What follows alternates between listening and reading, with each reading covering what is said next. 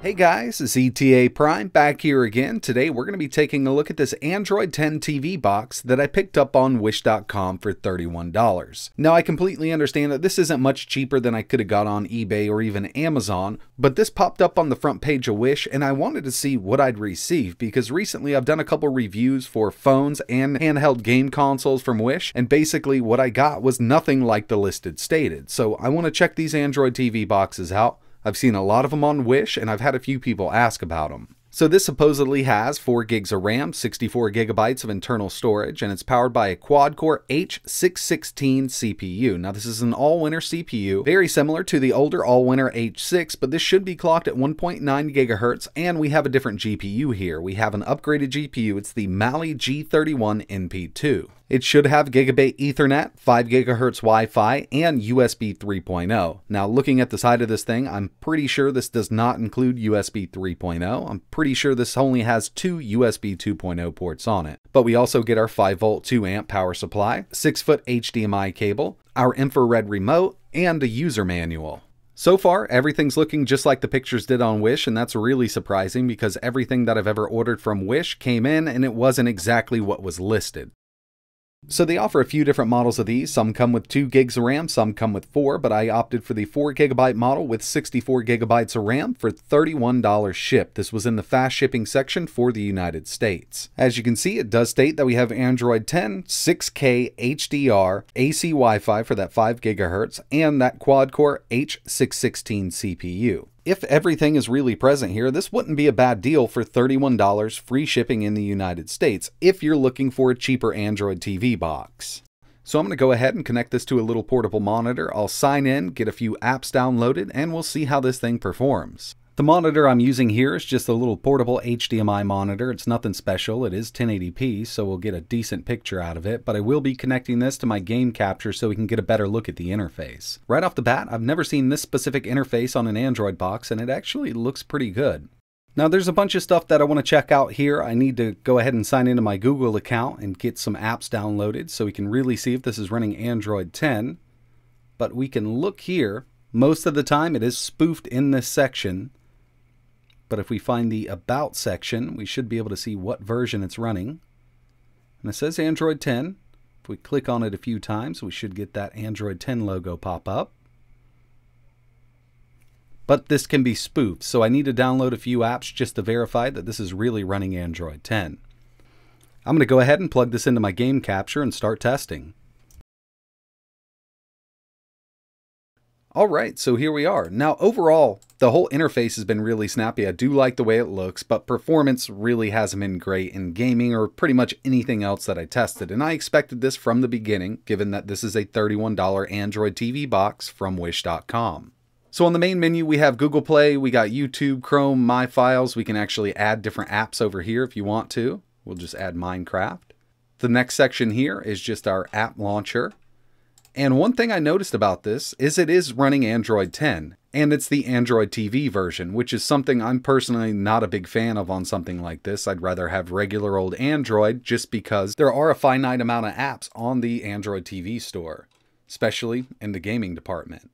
So first things first, I downloaded AIDA64, and this is just going to give me some information on the box itself. The device is being spoofed as a Google Pixel 2, it's stating that we have 4 gigabytes of LPDDR4X, and I do believe we have 4 gigs of RAM, just because our available memory is sitting at 1.5 here.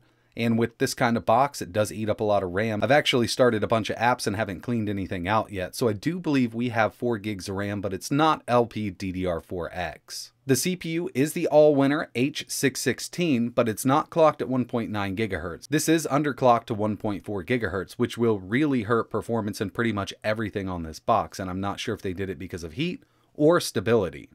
Moving down to the display, we do have that Mali G31. It's stating that we only have one GPU core, but this is the MP2. And never mind the screen resolution, AMOLED display, and things like that. This is connected to a 32-inch 1080p monitor.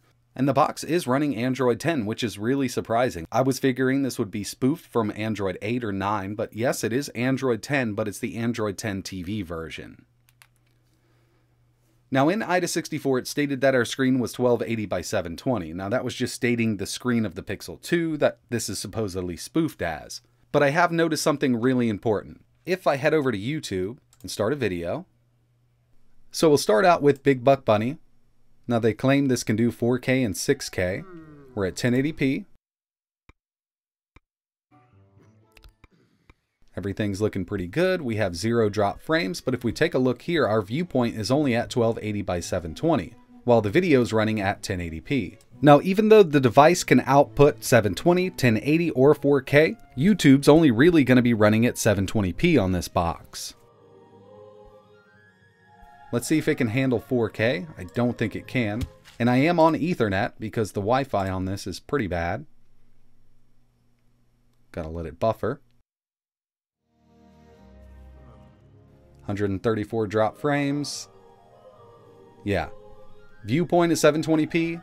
The resolution of the video should be at 4K 60. It's just not going to handle it. So after a little bit of buffering, it can do 4K streaming from YouTube, but we have a lot of drop frames, 840 so far.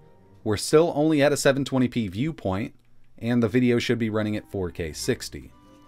So 4K video playback will really come down to the app you're using. Since YouTube only displays at 720p, we're only getting a 720p picture here.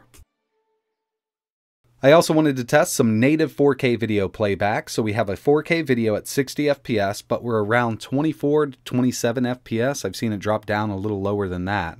But this should be running at 4K 60.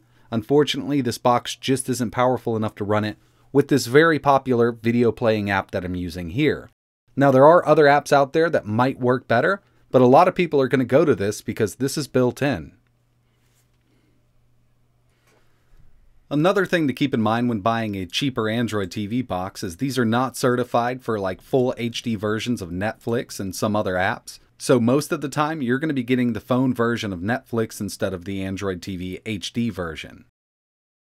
So I tried to run some benchmarks, but pretty much everything's crashing like Geekbench 4, Geekbench 5, uh, Antutu. The only one I could get to run was 3D Mark, so we'll see what that came up with. And we scored a 263, which is not great.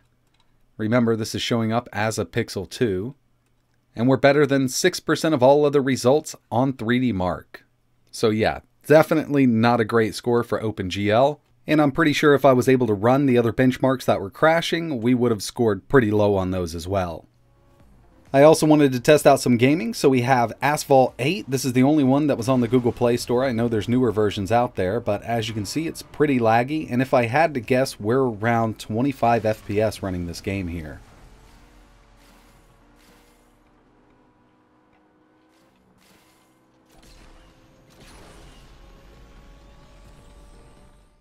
I also tested out Minecraft. Now this is the beta version just so I could get that FPS counter up on screen and we're getting an average of around 20 FPS.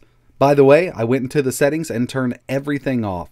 Fancy graphics, disabled the clouds, and I've turned the chunks all the way down to 6. So gaming performance on this box is really horrible.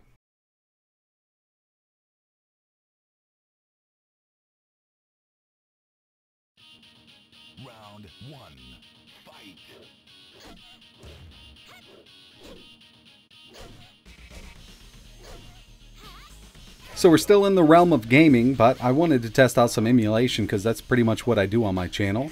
This is PlayStation 1 using PCSX ReARMed and RetroArch. I have the FPS listed up in the top right hand corner, and it's running PlayStation 1 games very well. I mean, we're at a constant 60 FPS and it looks great. But PlayStation 1 isn't one of those super hard ones to emulate, so let's move over to N64. I'm using Mupen64Plus FZ from the Google Play Store, and this is some of the worst performance I've ever seen out of GoldenEye 007. I even tried lowering the resolution in the emulator itself, but that doesn't seem to help much. There's one last emulator I want to test here. It's not looking great for emulation on this device, but we'll go with some PSP. I'm using the latest version of PPSSPP, OpenGL backend, Tekken 6, which isn't the easiest game to emulate, but it's not the hardest either. Got all of the speed hacks on, and we're only getting around 25 to 28 FPS, so it's really hard for me to recommend this box for pretty much anything. I wanted to do a quick teardown on this. Now, the last item I did a teardown on that I got from Wish didn't go so well, so I'm going to be gentle with this one here. And it looks like we have our 32 gigabytes of storage. This was supposedly 64. Four RAM chips here. There might be some on the other side. So let me go ahead and get this board out.